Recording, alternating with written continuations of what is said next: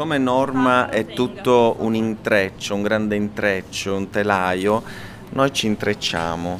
Ecco. Intrecciamoci e invitiamo tutti i genovesi ad intrecciarci con noi al Teatro Carlo Felice dal 24 al 31 di gennaio per la nostra magnifica Norma.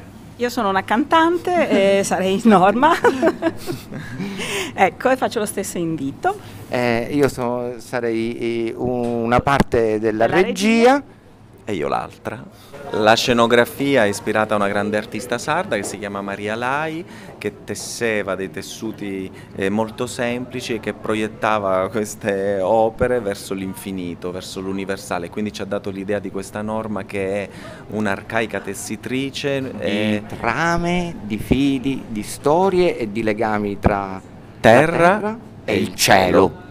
Quindi questa luna che lei tesse con elementi molto semplici diventa un'opportunità per staccarsi dalla terra e guardare i suggerimenti del cielo che ha tante cose da dire e tante cose di cui parlare. Eh, mi piace, l'ho scoperta tardi, cioè nel senso che da, da giovane non, non frequentavo l'opera, forse ai miei tempi usavano più musical, quelle cose lì. Adesso invece eh, è, è 10-15 anni che vado sempre a tutte le prime.